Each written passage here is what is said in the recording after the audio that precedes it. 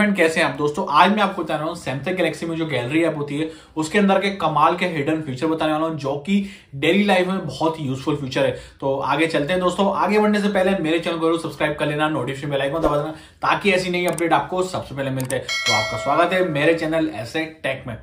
तो दोस्तों, जैसा कि बताया, मैं आपको बता रहा हूँ सैमसंग गैलरी के कमाल के हिडन फीचर तो उसके लिए जाना है आपको आपके सैमसंग गैलरी में। सैमसंग गैलरी में जाने के बाद आपको सबसे पहले तो फीचर बताने वाला हूँ कमाल का वो ये आप अपनी कोई सी भी फ़ोटोज़ को, उसको आप डायरेक्टली पीडीएफ में कन्वर्ट कर सकते हैं, वो भी डायरेक्टली इस ऐप के अंदर। कैसे? उसके बारे में आपको भी मैं बताने वाला हूँ। तो लाइक ये आपकी सारी फ़ोटोज़ हैं। आपको इसमें से किसी फ़ोटोज़ को या कुछ फ़ोटोज़ को आपको पीडीएफ में कन्वर्ट करना है। ये तो नॉर्मल फ़ोटोज़ है, होता क्या है, हम अपने आजकल के डेट में, हम अपने मोबाइल में कुछ डॉक्यूमेंट्स की फ़ोटो खींचते हैं और हमें उसको इंस्टेंटली पीडीएफ में कन्वर्ट करना होता है। तो हमें अलग से एक ऐप यूज़ करनी पड़ती है, जिसके थ्रू हम उसको पीडीएफ में कन्वर्ट करते हैं। बट अब आप सैमसंग गैलेक्सी बहुत ही ईजिली उसका फीचर को यूज़ कर सकते हैं। कैसे? आपको यहाँ पर करना क्या है? यहाँ इसको सिलेक्ट कर लेना है, कुछ फ़ोटोज़ को जिन दिन को आपको पीडीएफ भी करना है, और उसके बाद आपको यहाँ पर क्रिएट पे क्लिक करना है। आप देख रहे होंगे नीचे की तरफ़ आपको जैसे क्रिएट पे क्लिक करेंगे तो आपको यहाँ पर एक ऑप्शन मिलेगा सेव एज पीडीएफ करके आपको दिख रहा होगा। ये भी आपके मोबाइल पर नहीं दिखेगा जब आप इसको यूज़ करेंगे तो उसको कैसे इनेबल करेंगे वो आगे आपको बताऊँगा। यहाँ पर आपको सिंपली यहाँ पर सेव एज पीडीएफ में क्लिक कर देना है और वो पीडीएफ सेव हो जाएगा और आप चाहें तो उसको यहाँ से डायरेक्टली ऑन करके देख सकते हैं। तो आप देख रहे होंगे पूरा पीडीएफ यहाँ पर क्रिएट हो चुका है, आपको दिख रहा होगा। ये पीडीएफ यहाँ पर बन चुका है। अब ये कहाँ से वो अगर आपको देखना है तो आपको यहाँ जाना है अपने मोबाइल के माई फाइल्स में। माई फाइल्स में ऊपर ही आपको दिख जाएगा कि यहाँ पर आपको दिख रहा है ये यहीं के यहीं आप दिख रहा है और डायरेक्टली आप इसको कहीं भी शेयर आउट कर सकते हैं।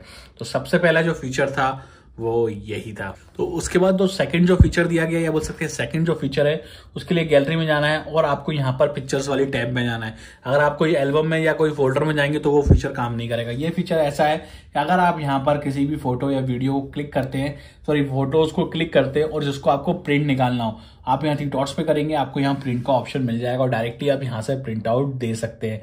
तो यहाँ पर अगर आपके पास कोई प्रिंटर कनेक्टेड है वायरलेस या जो भी, आप यहाँ से डायरेक्टली प्रिंट पे क्लिक करके प्रिंट आउट ले सकते हैं और सब आपको यहाँ पर मिल जाएगा। आप यहाँ से चाहें तो उसका साइज़ भी ओरिएंटेड भी कलर्स भी, सब आप यहाँ पर उसका मॉडिफाई कर सकते हैं। तो इस तरीके से ये वाला फीचर काम करेगा। तो ये हो गया आज के टाइम में ये दो फीचर जो मैंने बताया, ये डेली यूज़ के लिए बहुत ही कामफुल है। या बोल सकते हैं बहुत ही यूजफुल है।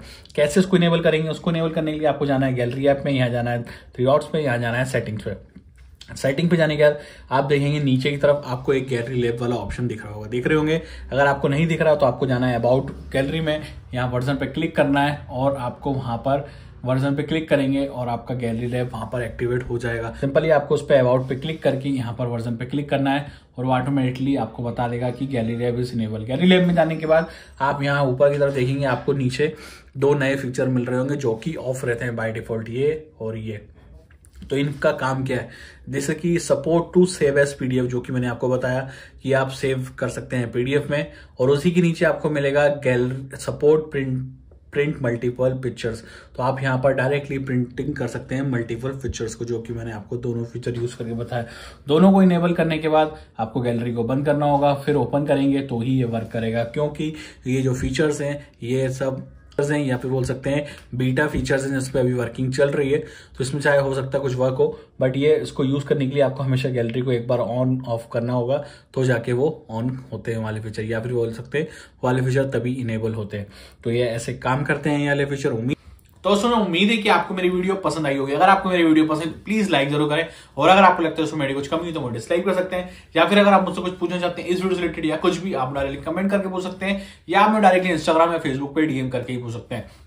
और सबसे ज़रूरी चीज़, अगर अभी तक आपने मेरे चैनल सब्सक्राइब नहीं किया तो प्लीज़ यार चैनल को सब्सक्राइब कर लो नोटिफिकेशन बेल आइकन दबा दो, ताकि ऐसी नई अपडेट यार आपको सबसे पहले मिलती रहे। और हो सके तो इंस्टाग्राम और फेसबुक फॉलो करना ना भूल। इसका लिंक आपको नीचे डिस्क्रिप्शन में मिल जाएगा। तो थैंक यू दोस्तों।